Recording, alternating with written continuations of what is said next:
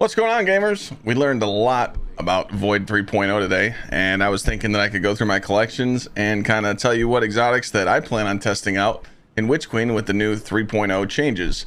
Now, again, these builds could change, but right now, you probably have nothing to do in the game right now, and we're just waiting for February 22nd, so I kind of wanted to give you a list of exotics that you might want to jot down and use in the new 3.0 void subclass. We don't know if certain exotics are going to stack uh, abilities or that we can combine the two abilities together. So we kind of just have to test stuff. So for the Titan, I despise this helmet, but hey, you know what?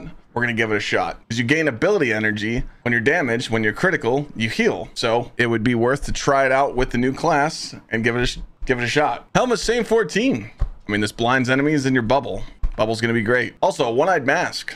You know, when you when you get multiple kills while you're uh, standing behind that shield, we can definitely pair this over shield that you get from the new 3.0 subclass for the Titan. It might work pretty well. Doomfangs, I mean, these have always been important. They've gave you super energy. It improves the Sentinel shield. Definitely want to try these out if you don't have them. Synthoceps. There's actually a point in the Void 3.0 class for the Titan that says it buffs melee energy. So with Synthoceps, you might be throwing that Captain America shield for even more damage. And we can pair it with buffs and debuffs. We might be looking at a Bonk 2.0 build. We don't know though. Worm Gods, I mean, hey, if they can buff the shield and get one good juicy Bonk build, you never know. Definitely want to try it out. Ursa's, I mean, for any end game, a Titan, this is the the starting exotic right here. If you don't believe me, go back and watch the Vidoc. Most of the Titans were on banner shields, so this is definitely going to be something we're going to need to test out. Uh, strongholds. Chat said that we should uh, suggest these, so you should definitely test this out with the new fragments and aspects and see if they work good on your Titan. Titan, if these work with your shield that heals you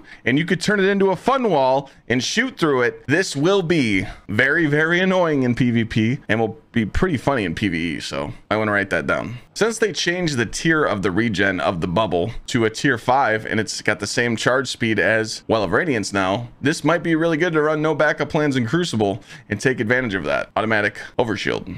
Crest of Alpha Lupi. When you cast that barricade and you stand behind it and you heal, you actually can get more heals off this. Plus, when you pop a super, you can make more orbs. This is an old D1 strat. We've used it in D2 as well. I would definitely recommend that. trying it. Armamentarium, you get two debuff nades. Enough said. Heart of Inmost Light, pop your nade, pop your tall wall, juiced melee. Or throw your shield, throw your tall wall down, buff your nades. Heart of Inmost Light is busted. Also, Dune Marchers. If you're not using Dune Marchers in PvE endgame right now as a Titan, you're missing out on the fun. Try them out. Use it. Try it. Have fun. Those are all my suggested testing exotics for the Titan. We're going to move on to the Hunter now. As you know, the Hunter is going to be invis a lot. Chaining invis and making fun builds could be fun. Gravitron forfeit is definitely going to make you invis and very annoying to deal with in PvP. Or Musk. A lot of people use this in PvE and PvP. Definitely want to test it out and see if it's going to help you. I'm going to put a Saslin's Cowl on here, but I don't think it's going to outperform the Gravitron forfeit, but it's definitely worth trying to use and test it out. Then we're going to go down to these gauntlets. Khepri's Sting paired with the new invisibility and debuffing nades and debuffing smokes. This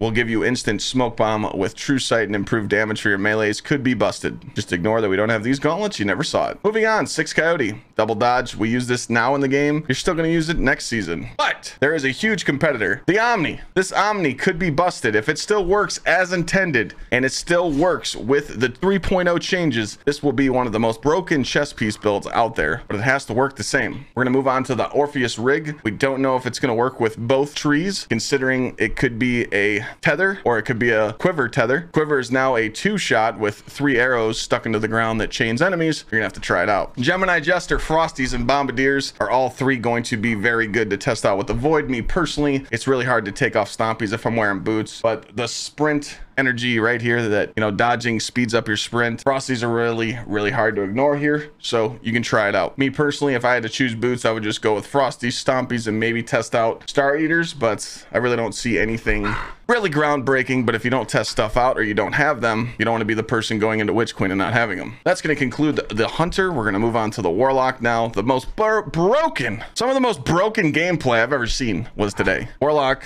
guys are cheating, okay? Warlock is going to be cheating now.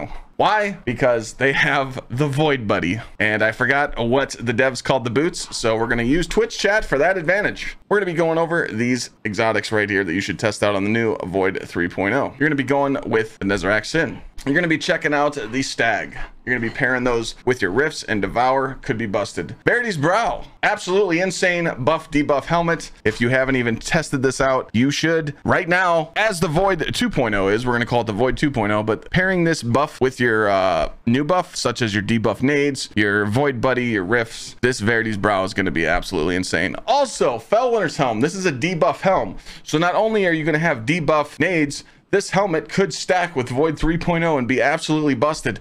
Warlock could turn into a debuff champ. If you guys are wondering what debuff means, it means weakening enemies that gives you a buff. What we saw on the Void 3.0 showcase was that it was it was a 15% buff on the weekend, the weakened effect. It, the Warlock was standing in a empowering rift, and when the weakened effect kicked in, it was a 15% buff. Not confirmed though, not confirmed, so we have no clue. Karnstein armlets. I don't use these in endgame, but I know some people that do. Maybe you're not running your Devour build and you want to run the other tree, or you're running both. You can pair this with Devour and absolutely absolutely get your health back and be an absolute madman running around meleeing everything, thinking you're a Titan on a Warlock, but we all know what's going to happen here. We're going to move on to that Contraverse Hold if this enhanced Void nades actually stacks with the new Void 3.0 nades. They're going to be absolutely busted. Run those disciplined builds and have fun. I don't have nothing manacles because I skipped arm day, as you see, but I'm going to go get them and I would definitely test that out. Why? Because you get a second scatter nade and that means two nades that can debuff and throw that oppressive darkness effect for you or your teammates. This is the chess piece. We all know this chess piece. There's been no purpose for this except one, and that's sitting in the Shattered Throne. The boots,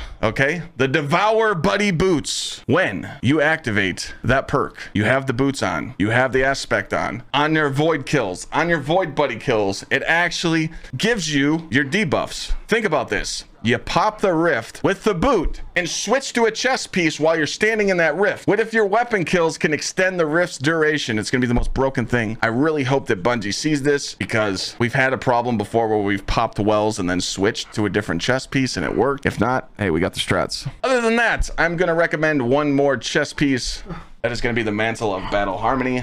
I'm not a fan of this chess piece, but chat said, hey, you should mention it so people could get the super energy on the elemental weapon takedown. So try it out, have fun. That's all the exotics that I'm going to suggest you try out with the new Void 3.0. Everyone's gonna have a different opinion, but I wanted to give you guys a heads up on what and why you should use. Hopefully this was definitely something that could help you out and discover new builds. But also, you could come into Twitch chat and hang out with everybody else like they are right now. They're just waving, saying hi. Also, stop being lazy. Hit the damn subscribe button and juice it to 100k. Stop being lazy. Hit the bell too. Plenty of juicy content coming up for the Witch Queen. I'll see you then.